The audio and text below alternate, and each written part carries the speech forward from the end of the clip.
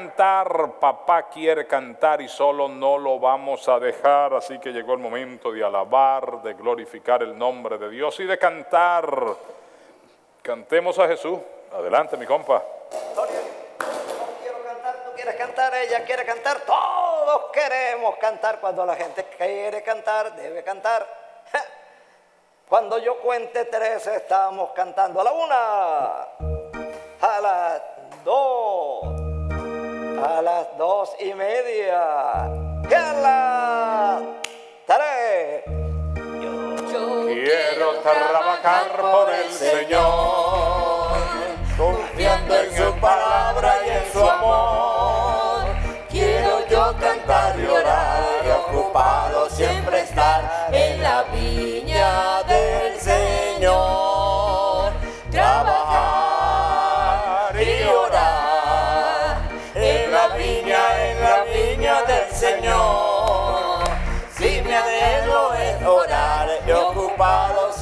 estar en la viña del Señor.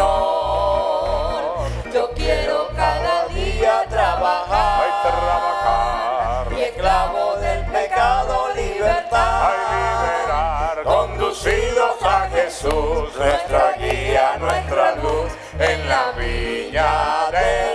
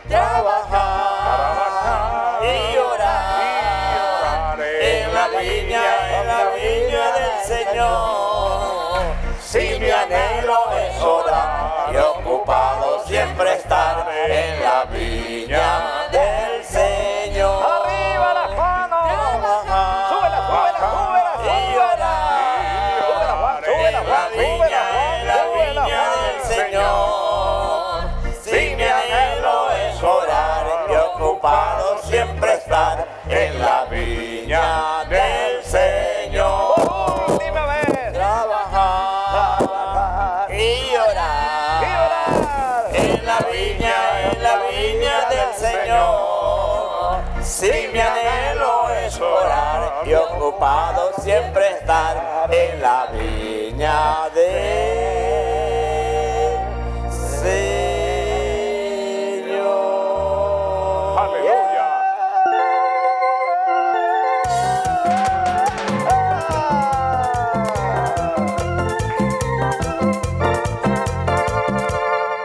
Bien, que toda la gloria sea de Jesucristo. Nosotros continuamos en este matutino y vamos ahora al estudio de la palabra de Dios. Hoy, día lunes, estamos comenzando prácticamente esta semana de labores, de actividades, de matutino. Y vamos a ir a la Biblia, Hechos capítulo 19. Estaremos estudiando desde el versículo 1 hasta el 22. Hechos 19 del 1 al 22. Allí tendremos el estudio del día de hoy. Nuestra hermana Arangeli Flores le da lectura a la palabra del Señor. Leemos bajo la bendición del Padre, del Hijo y del Espíritu Santo. Amén. Aconteció que entre tanto que Apolos estaba en Corintio, Pablo, después de recorrer las regiones superiores, vino a Éfeso y hallando a ciertos discípulos, les dijo, ¿recibisteis al Espíritu Santo cuando creísteis? Y ellos le dijeron, ni siquiera hemos oído si hay Espíritu Santo. Entonces dijo, ¿en qué pues fuiste bautizados? Ellos dijeron, en el bautismo de Juan. Dijo Pablo, Juan bautizó con bautismo de arrepentimiento, diciendo al pueblo que creyesen en aquel que vendría después de él, esto es, en Jesús el Cristo. Cuando oyeron esto, fueron bautizados en el nombre del Señor Jesús. Y habiéndoles impuesto Pablo las manos, vino sobre ellos el Espíritu Santo, y hablaban en lenguas y profetizaban. Era por todos los doce hombres. Y entrando Pablo en la sinagoga, habló con denuedo por espacio de tres meses, discutiendo y persuadiendo acerca del reino de Dios. Pero endureciéndose algunos y no creyendo, maldiciendo el camino delante de la multitud, se apartó Pablo de ellos y se separó a los discípulos, diciendo, discutiendo cada día en la escuela, de uno llamado tirano. Señor, gracias por esta lectura de tu palabra. Ahora que iniciamos esta primera lección, usa a cada uno de los pastores y ministros que va a llevar y predicar tu palabra. Gracias, Señor. Amén y amén. Toda la gloria sea para el Señor. La Biblia dice que la mies es mucha y los obreros son pocos. Rogad al Señor de la mies, ruéguenle a Dios para que envíe muchos obreros a su mies. Hermanos, se necesita un predicador, un pastor, un obrero en cada hogar. Ay, ay, ay. ¿Cuántos hogares hay en Guanare? ¿Cuántos hogares hay en Portuguesa? ¿Cuántos hogares hay en Venezuela? ¿Cuántos hogares hay en Sudamérica? ¿Cuántos hogares hay en el mundo? Dice la Biblia, amados hermanos, que entre tanto que Apolo estaba predicando en Corinto, Pablo estaba en Éfeso. Llegó a Éfeso y al llegar a Éfeso encontró una pequeña congregación de puro hombre. Ahí no habían muchachitos, ahí no habían muchachas, ahí no habían mujeres, ahí no habían matrimonio, puros varones. Habían doce varones ahí y esos doce varones eran creyentes. Y cuando Pablo, cuando Pablo llegó a Éfeso y encontró esa congregación de doce varones, a Pablo le pareció un poco rara la broma. Y Pablo, bueno, como ya son creyentes, no le voy a predicar el Evangelio. Pero Pablo, Pablo les hizo una pregunta. Pablo los vio así, aguaditos. Estaban como tristes, como que se les había muerto el papá o la mamá. Estaban en el culto, pero aguaditos, aguaditos. Y cuando Pablo vio esa congregación de doce 12 discípulos, pero 12 discípulos, amados hermanos, que parecían sonámbulos, parecían sonámbulos. Y cuando, cuando Pablo vio esa broma, Pablo les hizo una pregunta, Pablo les dijo, ustedes recibieron el Espíritu Santo cuando creyeron. Y ellos se quedaron con la boca abierta. ¿Ah? Ni siquiera ni siquiera, ni siquiera, ni siquiera sabemos si hay Espíritu Santo. Nadie nos ha hablado de Espíritu Santo. ¿De qué está hablando usted? ¿Qué es eso del Espíritu Santo? Ustedes no recibieron el Espíritu Santo cuando creyeron. Ya le dijimos, ni siquiera hemos oído si hay tal Espíritu Santo. Mase, en hebreo, mase, ¿qué es eso? ¿Qué es eso? Explíquenos. Mase, mase, mase. Bueno, les habló acerca del Espíritu Santo, mis amados hermanos. Nadie les había hablado del Espíritu Santo. Ah, él les hizo una pregunta. Él les dijo, ¿y en qué fueron bautizados ustedes? Porque el Señor nos ha mandado bautizar en el nombre del Padre, en el nombre del Hijo y del Espíritu Santo. ¿En qué fueron bautizados ustedes? Nosotros fuimos bautizados en el bautismo de Juan el Bautista. Ah, ustedes son bautistas. Ah, son bautistas. Bueno, ustedes son bautistas, entonces yo les voy a, dar lo que a ustedes les hace falta. Les voy a hablar acerca de la tercera persona de la Trinidad Divina. Ustedes fueron bautizados en el bautismo de Juan. Ajá, muy bien. Entonces, les falta a ustedes conocer la tercera persona de la Trinidad Divina. Y dice la Biblia, amados hermanos, que oró por ellos después de bautizarlos en el nombre del Padre, del Hijo y del Espíritu Santo. Después de bautizarlos, les puso la mano en la cabeza les hizo una tremenda oración para que recibieran el poder del Espíritu Santo. Y dice la Biblia, amados hermanos, que recibieron el Espíritu Santo. Y ahí comenzó el avivamiento en Éfeso. En Éfeso. Conocían el Evangelio, pero no conocían el poder del Espíritu Santo. Que Dios nos ayude, que donde quiera que lleguemos, que no descuidemos la tercera persona de la Trinidad Divina. Cuando yo estaba haciendo la campaña en el año 1980, fundando la obra en Los Pozones, allí en Barina, me mandaron refuerzo me mandaron un joven alto, un joven muy elegante, junto con su esposa, parecían dos artistas. Me los trajeron de Maracaibo y los mandaron para que me ayudaran, porque la multitud era tan grande. La gente, amados hermanos, allá al final no se oían las bocinitas que yo cargaba. Entonces decidimos dividir en dos mitades un grupo para allá, los que vivían hacia el sur en la ciudad de, de, Barina y el resto aquí conmigo. Y él cuenta que predicó la primera noche. Aquí, amados hermanos, era un derramamiento del Espíritu Santo y allá la gente estaban como unas velas paradas en pie. Y primer día, segundo día y nada que se movía el Espíritu Santo. Entonces él se metió en ayuno y llorando le preguntó al Señor, le dijo, Señor, ¿por qué allá donde está mano puerta el Espíritu Santo se mueve como un ventarrón? Y aquí yo predico, predico y no sucede nada, Señor. ¿Qué pasa, Señor? La esposa estaba lavando allá en la batea.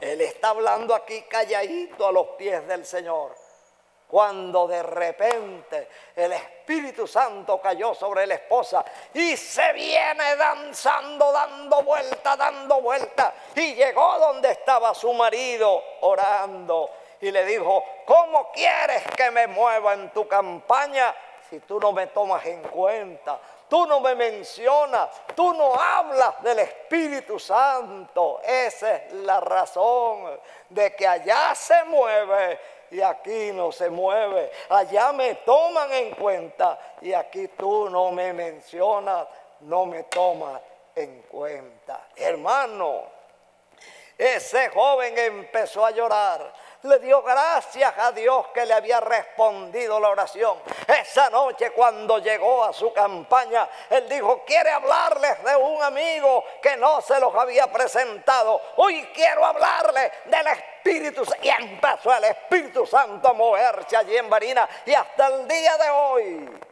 los que toman en cuenta el Espíritu Santo en Barina, en Guanare, en cualquier parte del mundo, el Espíritu de Dios sigue moviéndose. Yo le daría gloria a Dios. Gloria, a Dios.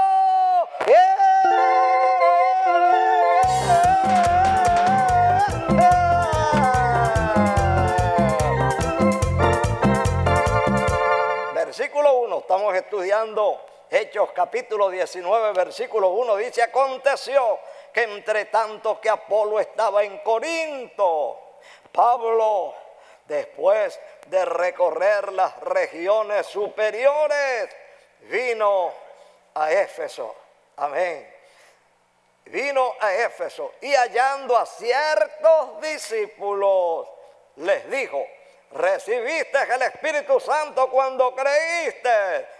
Y ellos le dijeron, ¿cómo le dijeron ellos, mi Juan? Ni siquiera hemos oído si hay Espíritu Santo. Ni siquiera hemos oído si hay Espíritu Santo.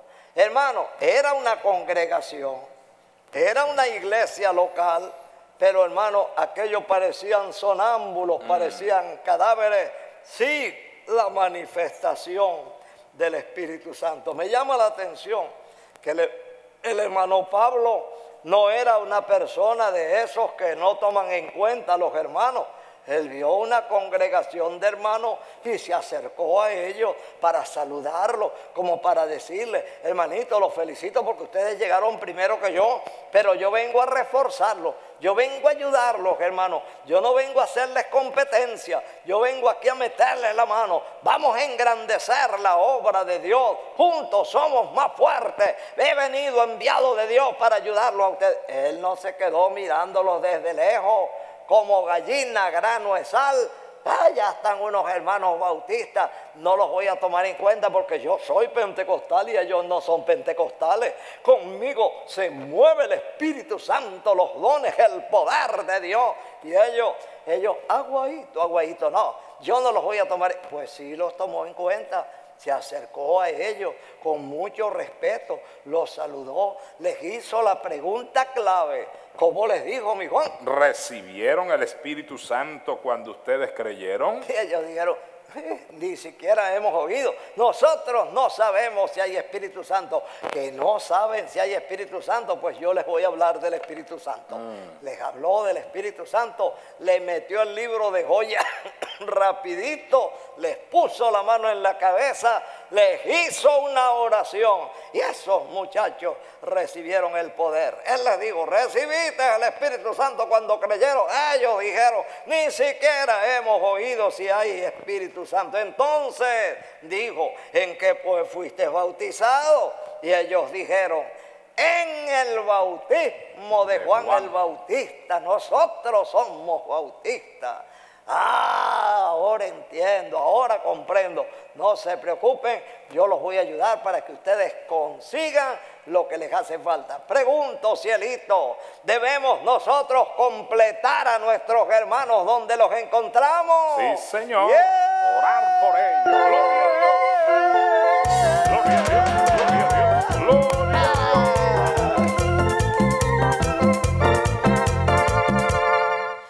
partir de este momento vamos a ver un acto maravilloso. El apóstol Pablo les pregunta, ¿ustedes recibieron al Espíritu Santo? Ellos le, le contestan que no. Entonces dice ahora el versículo 4, dijo Pablo, Juan bautizó con bautismo de arrepentimiento, diciendo al pueblo que creyesen en aquel que vendría después de él, esto es, en Jesús el Cristo. Pablo no se puso a discutir, no se puso a, menospreciarlo, no, él vino a hacer lo que Dios le había mandado, era llevar el poder del Espíritu Santo. ¿Por qué? Porque Pablo les está hablando de lo que ellos conocen. Ellos le dijeron, estamos bautizados en el, Espíritu Santo, pero ahora Pablo les recuerda a ellos lo que el mismo Juan el Bautista dice en el versículo 11 de Mateo capítulo 3, donde dice, yo a la verdad os bautizo en agua para arrepentimiento. Estas son palabras de Juan. Yo bautizo en, agua para arrepentimiento, pero el que viene detrás de mí, cuyo calzado yo no soy digno de llevar, es más poderoso que yo. Él os bautizará en Espíritu Santo y fuego. Pablo les está diciendo, ok, ustedes están siendo, ustedes fueron bautizados por Pablo, pero ahora por Juan, pero ahora mira lo que dijo Juan. Pablo les está recordando estas palabras que él mismo lo dijo. Yo bautizo con, por arrepentimiento para que ustedes sean arrepentidos, pero después de mí viene uno con fuego, con ese Espíritu Santo, con poder verdadero, que allí es eso es lo que usted y yo tenemos que tener. Entonces Pablo le dice acá en, en, Hechos capítulo 19 en el versículo 4, esto es en Cristo, final del versículo 4, esto es en Jesús el Cristo. Cuando oyeron esto, estos discípulos que estaban escuchando estas palabras de Pablo, cuando oyeron esto, fueron bautizados en el nombre del Señor Jesús. Pablo no perdió tiempo. Pablo le dijo, bueno, ahora ustedes van a ser llenos del poder de Dios, van a ser llenos del poder del Espíritu Santo. Y habiéndoles impuesto Pablo las manos, vino sobre ellos el Espíritu Santo y hablaban en lenguas y profetizaban. ¿Por qué? Porque cuando usted y yo buscamos de la presencia de Dios, le damos la bienvenida al Espíritu Santo, lo que tiene que salir de nosotros es poder, es, es gratitud, es esa sanidad que cuando usted ora por los enfermos son sanados. Cuando usted llega y impone la mano, milagro sucede. Mira lo que dice acá en el mismo hecho, pero capítulo 1, 1 versículo 8 dice, pero recibiréis poder cuando haya venido sobre vosotros el Espíritu Santo y me seréis testigos en Jerusalén, en toda Judea, en Samaria y hasta lo último de la tierra. Acá en Hechos capítulo 19 se estaba cumpliendo esta palabra. Se estaban siendo testigos del poder de Dios. Y ellos no, y ese poder de Dios no se quedó nada más allí en ese grupito. Hoy en día, usted y yo teniendo al Espíritu Santo, también tenemos ese poder. No podemos guardarlo, no podemos esconderlo. Tenemos que imponer las manos a aquellas personas quebrantadas, aquellos que están perturbados por el enemigo. Usted le impone la mano con el poder del Espíritu Santo y el diablo tiene que huir, porque donde está Dios, donde está el poder de Dios, el diablo tiene que desaparecer. Entonces dice aquí, y habiéndoles impuesto Pablo las manos, vino sobre ellos el Espíritu Santo y hablaban en lengua y profetizaban. Eso es el poder de Dios. Usted se deja que el Espíritu Santo tome su cuerpo, tome su alma y verá que va a profetizar, va a hablar palabras dichas directamente de Dios a su vida. Así que hoy es el día que usted y yo tiene que dejarse bautizar. Si no lo ha hecho, dejarse bautizar por el Espíritu Santo, porque así va a tener ese poder sobrenatural para imponer las manos a aquellas personas quebrantadas, aquellas personas perturbadas por el diablo. Usted le impone las manos llenas del Espíritu Santo y va a ver la obra. Que Dios le bendiga y que Dios le guarde.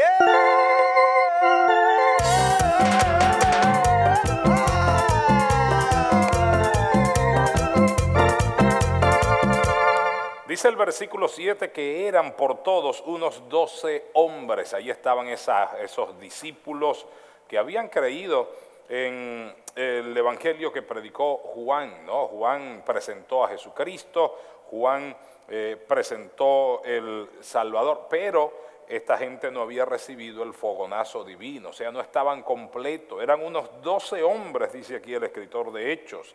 Y entrando Pablo en la sinagoga, habló con denuedo por espacio de tres meses, discutiendo y persuadiendo acerca del reino de Dios. El apóstol Pablo fue llamado por Dios, fue escogido por Dios para llevarle el Evangelio a los gentiles, pero también donde encontraba una sinagoga se metía, les hablaba del Evangelio y no perdía tiempo. Hoy no está el apóstol Pablo, hoy estamos nosotros, los escogidos por Dios para llevar este evangelio del reino. Dice la Biblia, será predicado este evangelio del reino para testimonio a todas las para testimonio a todo y entonces a toda la criatura y entonces vendrá el fin. Yo creo que nosotros estamos llamados para llevar este evangelio de salvación.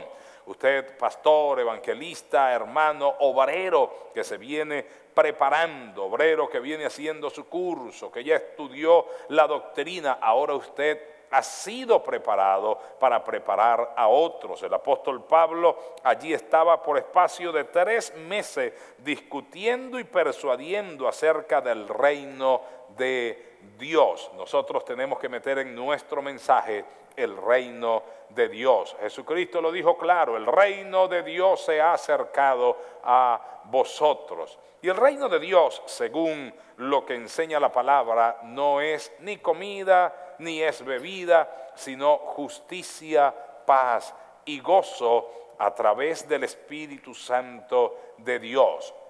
Era lo que el apóstol Pablo le estaba enseñando a ellos allí, hablándoles del reino de Dios. El reino de Dios tiene como jefe, como rey a Jesús de Nazaret, el rey de reyes, señor de señores, su territorio, el mundo, la iglesia de Jesucristo, su pueblo. Nosotros tenemos que seguir hablando de ese reino de Dios aquí en la tierra. Cuando reina y gobierna, ese reino inconmovible, las tinieblas tienen que retroceder, las tinieblas tienen que huir. Necesitamos siempre el reino de Dios en la familia, el reino de Dios en la iglesia, el reino de Dios en el vecindario, el reino de Dios aquí en Venezuela. Si el reino de Dios nos gobierna, le aseguro que vamos a vivir felices, vamos a tener gozo. Jesucristo, que es el rey de reyes y señor de señores, lo dijo bien claro, yo me voy pero les dejaré a vosotros el Espíritu Santo que estará con ustedes para guiarlos a toda verdad. También nos dejó el gozo. Eh, mi paz os dejo, la paz os doy, yo no la doy como el mundo la da. Nosotros necesitamos ese reino del Señor para tener gozo, para tener paz, para tener alegría, para vivir felices con el reino de Dios. El apóstol Pablo les habló a ellos no solamente del Espíritu Santo, sino también de este reino de Dios. Y Jesucristo enseñándonos a orar, Él dijo que en medio de la oración nosotros teníamos que decir diariamente, venga a nosotros tu reino, Señor, que tu reino venga a nosotros cada día. Y quiero decirle que ya el reino de Dios está aquí entre nosotros porque está Jesucristo. Versículo 9 dice, pero endureciéndose algunos y no creyendo, maldiciendo el camino delante de la multitud, se apartó Pablo de ellos y separó a los discípulos, discutiendo cada día en la escuela de uno llamado tirano. Bien, el apóstol Pablo no quería discutir entre ellos porque el Evangelio no es para discutir, el Evangelio es para creerlo y para recibirlo. Todo el que cree en el Evangelio del reino de Dios, entonces es feliz. El que no quiere creer en este Evangelio, el que quiere discutir, la Biblia dice, deja al necio en su necedad. Usted sacúdase el polvo de sus pies y camine más adelante, que donde no le reciban aquí su mensaje, es porque Dios quiere llevarlo usted más adelante, donde lo van a recibir, donde la gente va a oír con buena gana. Siempre habrán burladores, siempre habrá gente que no cree, siempre habrá gente que no abre sus puertas y que no recibe el Evangelio, pero también hay gente que sí lo recibe, como lo que estamos aquí en este glorioso matutino. Habrá gente que abrirá su corazón para recibir a Jesús de Nazaret, donde se te abra la puerta, métete y háblales del reino de Dios, habla de la sanidad divina, habla de Jesús de Nazaret, habla de la paz que Él trae. Donde te cierren la puerta, sigue más adelante. No pierdas tu tiempo discutiendo con nadie, no pierdas tu tiempo peleando con nadie. Vamos a ir a donde la gente quiere recibir con gozo y con alegría la palabra del Señor. Fíjate que donde quiera que llegue la obra, en cualquier barrio, la gente sale contenta a recibir la palabra. Y donde no nos reciben, una vez llegué con papá a, eh, ahí en Centroamérica, como es Nicaragua. Llegamos a Nicaragua, no nos permitieron entrar, no nos dejaron entrar. Bueno, papá me dijo, hijo, usted sabe lo que hay que hacer. Sacudamos el polvo de los pies y continuemos nuestro camino. Aquí en Nicaragua no nos dejaron entrar, llegamos a Guatemala y ahí se abrieron los cielos y una manifestación de poder tan tremenda que hasta el día de hoy ahí está la gente recordando lo que Dios hizo en esa visitación de Dios. Entonces, donde no te reciban, no te pongas a pelear con nadie. Usted ve un perro ladrando, no se ponga en cuatro patas a ladrarle. Continúe su camino, que más adelante Dios le tiene cielos abiertos, puertas abiertas, y es porque Dios te necesita llevar a otro lugar. Al pueblo lo persiguieron aquí en Jerusalén, ellos se fueron a Antioquía y se fueron por diferentes lugares y han llegado hasta aquí, hasta Venezuela, con ese evangelio del reino de Dios. Que Dios nos ayude a entender esto y que no nos detengamos, que donde haya persecución, siga adelante, siga su camino, que más adelante el Señor le tiene puertas abiertas. Amén.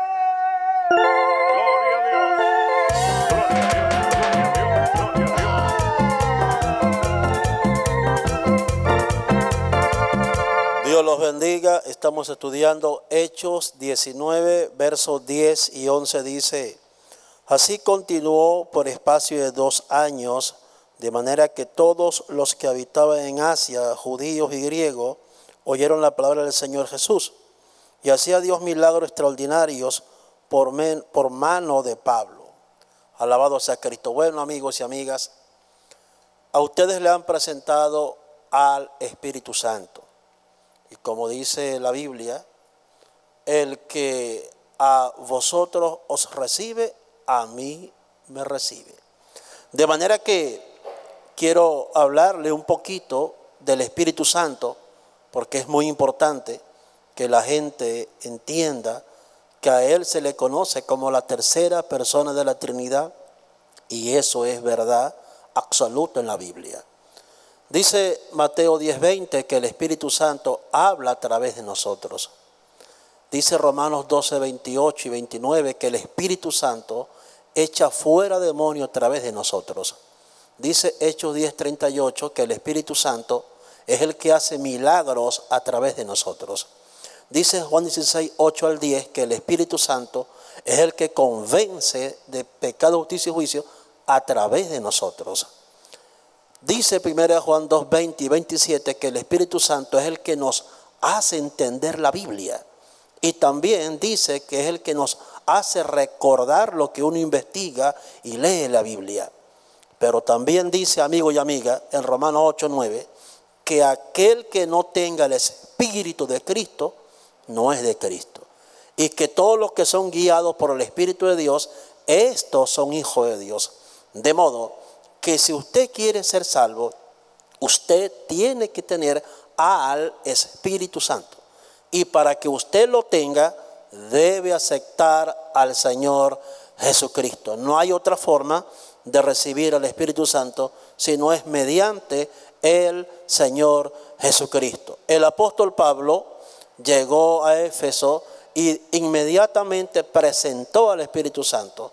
Y también en una escuela se quedó predicando la palabra por dos años y el Espíritu Santo convencía a esas personas. Dese cuenta que ahí estaba una escuela y toda escuela tiene un perfil doctrinal, toda escuela tiene una corriente filosófica, toda escuela de una u otra manera tiene su ortodoxia y su extra ultra ortodoxia. En otras palabras, se aferran acérrimamente a su doctrina, aunque es falsa, se aferran. No obstante, el Espíritu Santo usó al apóstol Pablo a través de señales, de milagros y la buena prédica, y muchas de esas personas, el Espíritu Santo los convencía y aceptaban a Jesucristo porque veían el poder de Jesucristo, veían el poder de Dios en los milagros. Todavía hoy día Cristo hace milagros en el poder de su Espíritu. Él te ama. Dios te bendiga y Dios te guarde.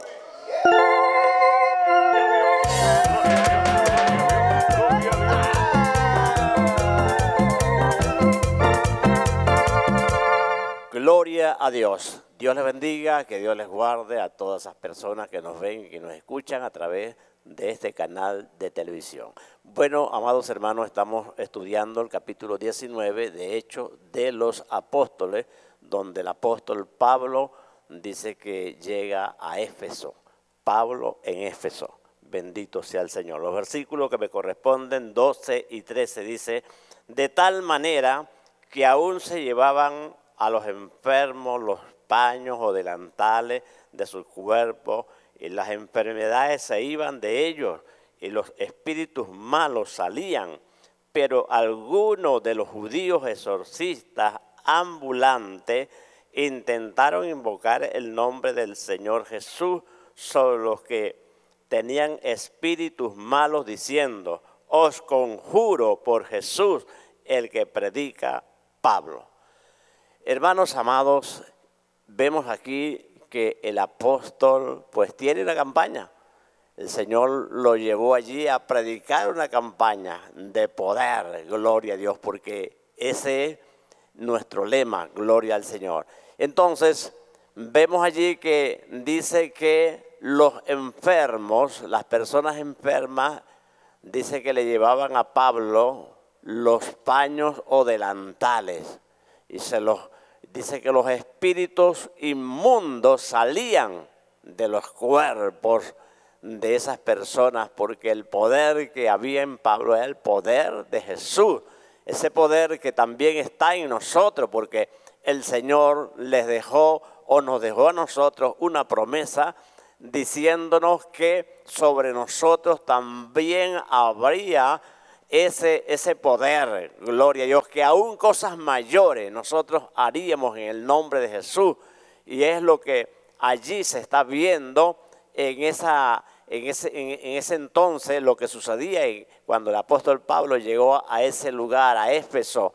Pero dice que bueno, en medio de esa manifestación, de ese poder, de esos milagros que hacía el apóstol Pablo, también habían allí unos judíos exorcistas ambulantes que trataron de invocar el nombre del Señor Jesús. Fíjense que hay personas que tratan de eh, imitar lo que nosotros hacemos, lo que los predicadores hacen, lo que los evangélicos hacen, pero resulta que bien no les va a ir. Bendito sea el Señor, porque más adelante van a ver lo que va a acontecer cuando estas personas trataron de hacer eso, porque nosotros tenemos que hacer lo que el Señor a nosotros nos ha mandado a través de su palabra. Que Dios le bendiga y que Dios le guarde.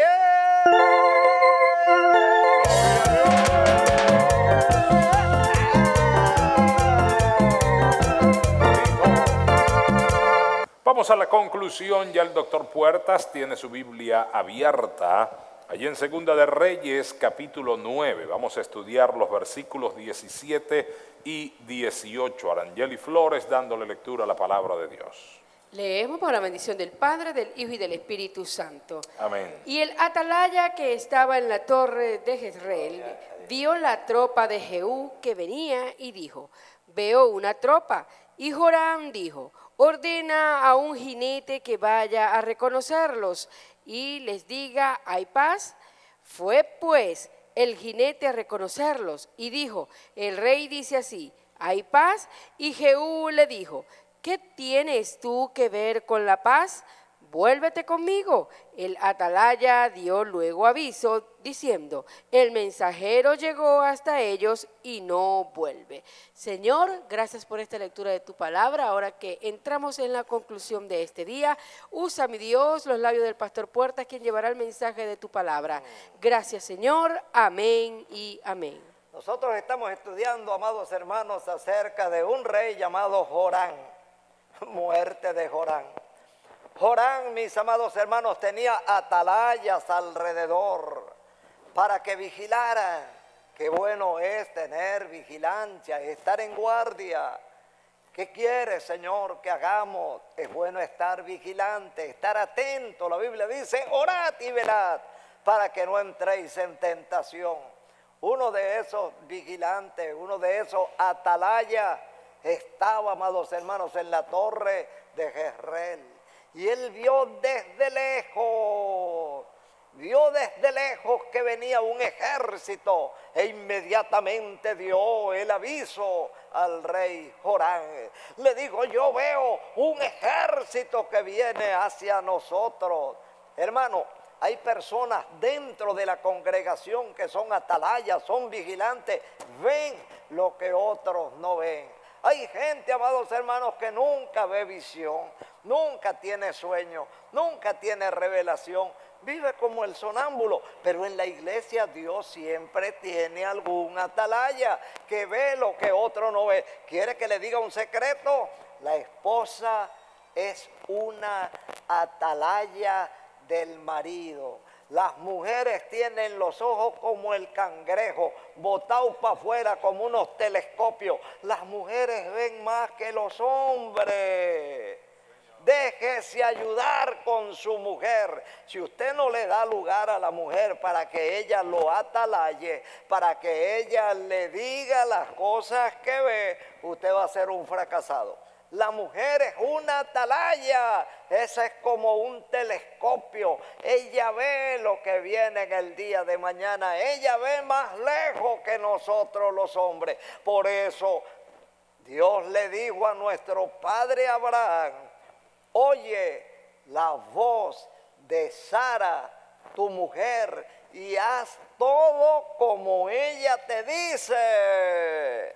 Qué bueno es cuando el hombre oye la voz de su mujer. Mire, yo no sé qué pensará usted de mí, pero a mí me gusta oír la voz de mi olfa. Cualquier cosa que mi olfa me dice, yo paro la oreja como un conejo. Yo paro la oreja porque Dios que la puso a mi lado es para que ella me atalaye, para que ella me advierta, que ella ve cosas que usted no ve, que ella tiene sueños, tiene visiones, tiene revelaciones y siempre está trayéndole mensajes al pastor. Mire, pastor, yo me di cuenta de algo, pastor. Pastor, porque usted no revisa tal cosa. Mire, pastor, usted tiene predicando a ese muchacho y ese muchacho parece que anda mal. Pastor, pastor, yo tuve un sueño con ese muchacho, tuve un sueño con esa mujer. Pastor, tenga cuidado. Oiga la voz de los atalayas. De repente Dios le está hablando a usted por la boca de una burra, así como le habló al profeta Balaán. Balaán era un profeta de Dios, un gran vidente y la burra vio lo que no veía el vidente. Y de repente la burra, la burra se paró y en lugar de caminar hacia adelante, la burra puso el retroceso, metió el croche y empezó la burra a darle para atrás. Y el profeta se puso tan bravo. El profeta empezó a echarle palo a la burra y le daba duro a la burra. Y llegó un momento en que le dolió tanto a la pobre burra que la burra, la burra habló con el profeta, la, burra le dijo, mi profeta, porque usted me pega. ¿Qué, qué, por qué? Te pego porque pusiste el retroceso y estás caminando hacia atrás, piazo de burra. ¿Quién te enseñó a caminar hacia atrás? Y vuelve a darle. Y le dijo, mire mi profeta, yo estoy viendo una broma que usted no la está viendo. Yo sí soy una burra. Pero parece que usted es más burro que yo, mi profeta. Mi profeta, abra los ojos, mi profeta. Su vida está en peligro. Y cuando el profeta abrió los ojos espirituales, obedeciendo a la voz de su burra, vio que estaba delante de él el ángel del Señor con la espada desnuda, una espada larga, puyúa, y venía hacia él apuntándolo. La burra lo libró de la muerte. Si él sigue adelante, amados hermanos, allí habría terminado la historia de Balaam. Pero qué bueno es tener una burrita cerca de uno, qué bueno es tener una esposa, qué bueno es tener una ovejita. Puede ser que no sea una gran predicadora, que no sea una gran sanadora de enfermos, pero a lo mejor Dios habla por la boca de esa hermanita sencilla. Oiga los sueños, pastor. No desprecie los sueños, pastor. Jorán tenía atalayas. Y cuando el atalaya vio ese ejército que venía, el atalaya se bajó de la torre, corrió donde el rey y le dijo, mi rey, yo veo un ejército que viene contra nosotros. Y el rey le dijo, busca un jinete que vaya a ellos y que les pregunte, ¿ustedes vienen con paz o ustedes vienen aquí a la guerra contra nosotros. ¿Hay paz o no hay paz? El rey Jorán me manda a preguntarte si hay paz. Y el jinete corrió, amados hermanos, y llegó allá donde venía el ejército y ubicó al comandante de ellos que era Jehú. Y le dijo, el rey Jorán me ha enviado a preguntarte si hay paz si vienes con paz o si vienes a guerra. Y Jehú le respondió con dureza, ¿qué tienes tú que ver con la paz? Vente conmigo, hermano. Y el atalaya volvió otra vez y le dijo, el, el, jinete llegó donde está el ejército que viene contra nosotros, pero lo atraparon nada que regresa. Hermano, qué bueno es tener alguien que nos avise lo que está por suceder, alguien que nos avise lo que está sucediendo. Dios siempre tiene a alguien que nos va a alertar. Permita Dios que no seamos soberbios, altivos, indiferentes. Yo soy el pastor, yo sé lo que estoy haciendo. Usted no tiene que decirme nada porque usted es una nueva creyente, usted es un nuevo creyente. No, hermano, vamos a oír la voz de esos atalayas que el Señor tiene para ayudarnos, para que no metamos la pata, porque no podemos hacerlo todo. Así como en el cuerpo tenemos muchos miembros, las manos no pueden ver, las manos no pueden oír, las manos no son para caminar, las manos no son para oler, las manos no son para gustar, las manos tienen una función los ojos tienen otra función. Los oídos tienen otra función. Son muy buenos los ojos, pero de día, de noche te sirven más los oídos que los ojos. Porque cuando no puedes ver nada, si tú oyes un ruido que viene por ahí, una maraquita, puede que sea una culebra cascabel. No te bajes de la cama en el nombre del Señor. Dios tiene atalayas no todos en la iglesia tenemos la misma función. ¿Estás de acuerdo, cielito? El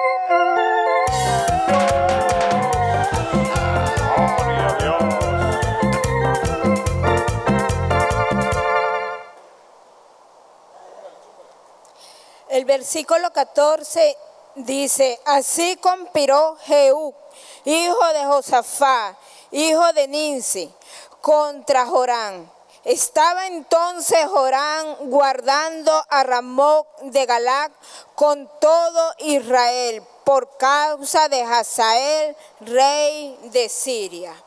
Queridos hermanos, aquí vemos, ¿verdad?, la historia de un rey, el rey Jorán. Pero ese rey estaba guardando al pueblo de Israel.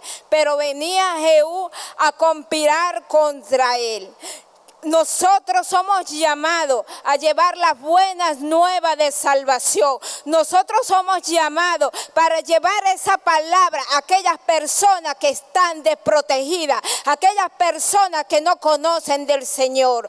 Pero siempre se va a levantar el enemigo contra nosotros para que nosotros no hagamos el trabajo que Dios nos ha mandado hacer. Nosotros tenemos que estar pendientes. Nosotros debemos ser esa atalaya delante del Señor para poder hacer el, el trabajo que Dios nos ha mandado hacer.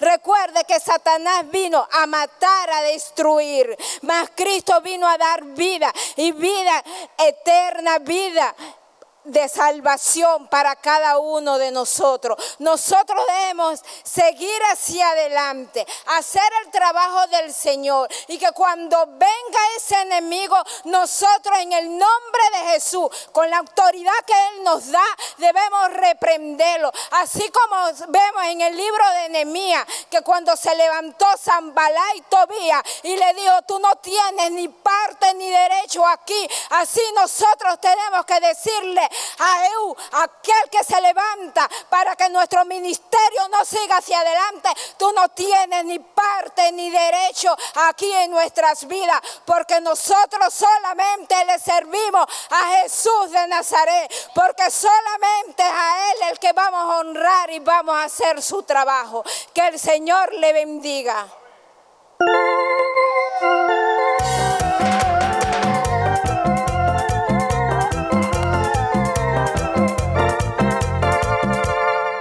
Dios le bendiga. Me corresponde el versículo 15. Dice así, pero se había vuelto el rey Jorán a Jezreel para curarse las heridas que los sirios le habían hecho peleando contra Asael, el rey de Siria. Y Jehú dijo, si es vuestra voluntad, ninguno escape de la ciudad para ir a dar las nuevas en Jezreel. Gloria al Señor.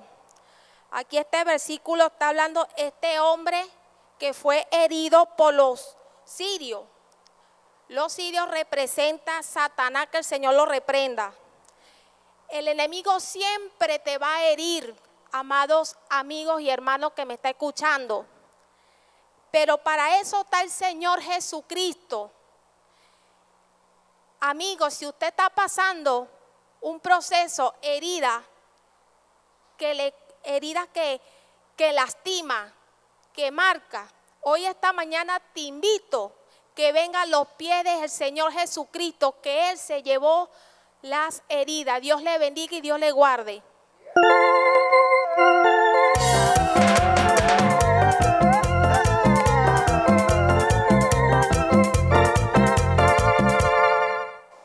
Gloria al Señor. Que Dios bendiga a todos los que nos oyen y a todos los que nos ven. Amén. Me corresponde el versículo 16 y 19. Dice así. Entonces Jehú cabalgó y fue a Jezreel porque Jorán estaba allí enfermo. También estaba Ocosías, rey de Judá, que había descendido a visitar a Jorán. Entonces envió otro jinete, el cual llegando a ellos dijo, el rey dice así, ¿hay paz?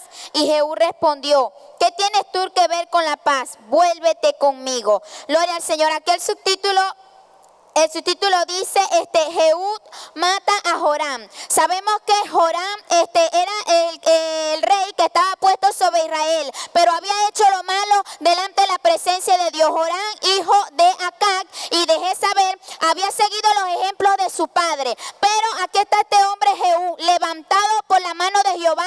¿Para qué? Para que fuera rey sobre Israel y destruyera a Joram. Para que acabase el reino de Joram. ¿Para qué? Para que se hiciera venganza por los profetas que habían sido muertos por la mano de Jezabel. Así cada uno de nosotros, querido hermano, como el Señor levantó a Jehú para derrotar a Jorán, hombre malo, así cada uno de nosotros, aunque el diablo se haya levantado en nuestra familia, aunque el diablo se haya levantado en tu misión, pastor, obrero del Señor, usted y yo somos llamados por el Señor, usted ha sido ungido por el Señor y ha, ha sido puesto por el Señor para que destruyamos, para que las cadenas del enemigo se caigan cuando usted hable, cuando Y aquí dice de que cuando Jehú eh, ya había sido ungido por el Señor como rey sobre Israel, fue a Jezreel donde se encontraba Jorán. Jorán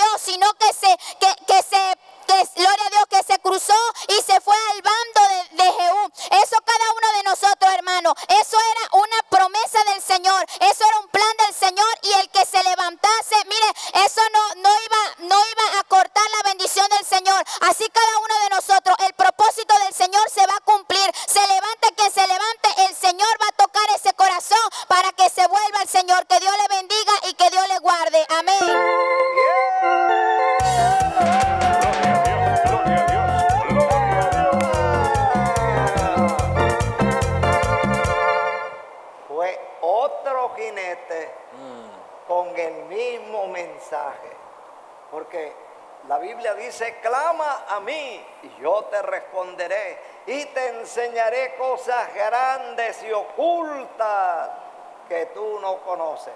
Clama a mí. El Señor está dispuesto, amados hermanos, a responder, a mostrarnos el camino por donde tenemos que andar, para que no andemos a tientas, a ciegas. La Biblia dice que no hará nada el Señor Jehová sin que manifieste su secreto a sus siervos, los profetas. Ayer los atalayas andaban montados sobre caballo para ir rápido, pero ahora el atalaya de nosotros no es un jinete montado en un burro, montado en un avión, montado en un caballo, montado en un carro, en una bicicleta, en, un- en una motocicleta. No, ahora el atalaya está dentro de nosotros. Es el Espíritu Santo, el Espíritu de Dios que nos guía a toda verdad. Pero hay que estar atento al mensaje que el Señor nos está dando. Hay que estar atento a la voz de Dios. El Señor nos habla de diferentes maneras, mis amados hermanos. Dios tiene muchas maneras de responder. Hay momentos en que el Señor responde de inmediato. El Señor te dice sí. Hay momentos en que la respuesta de Dios es no. Hay momentos en que es sí, pero no ahora, sino más después. Hay que estar atento y sumiso a la voz del Espíritu de Dios. Hoy el Señor nos está hablando. Ajá, ¿cuál es la palabra de Dios para nosotros hoy, hermano Puerta? La palabra de Dios para nosotros es esta. Diga conmigo, Jesucristo dijo, Jesucristo dijo, venid a mí, venid a mí todos todos los que estáis los que estáis trabajados trabajados y cargados, y cargados, que yo que yo os haré haré descansar. Y no queréis venir a mí. El Señor dice, vengan, vengan, vengan a mí. Los que están cansados de los bachaqueros, los que están cansados de la inflación, los que están cansados del desempleo, los que están cansados, amados hermanos, de la devaluación de la moneda. Ningún sueldo alcanza hoy en Venezuela para comer. Ningún sueldo alcanza hoy para pagar los pasajes. Los maestros se han ido de Venezuela porque el sueldo no les alcanza para pagar el pasaje. Los médicos se han ido de los hospitales porque el sueldo no les alcanza para pagar el pasaje. Estamos cansados de esta situación. ¿Qué debemos hacer? Venir a Cristo, venir a los pies del Señor, decirle, Señor, estamos cansados, ayúdanos a resolver estos grandes problemas financieros, económicos que nos están ahorcando, nos están ahogando, Señor. Ten compasión de... Vamos a clamar al Señor. La. Biblia dice, clama a mí Y yo te responderé. y te enseñaré cosas grandes, grandes, grandes y ocultas que tú no conoces. Es el momento de clamar al Señor. Inclina tu cabeza conmigo, orar es hablar con Dios. Aviéntate la mano sobre el corazón, ponte la mano en el corazón en el nombre de Jesús. Juan, Juan, el que está a tu lado, póngase la mano en el corazón, sea obediente.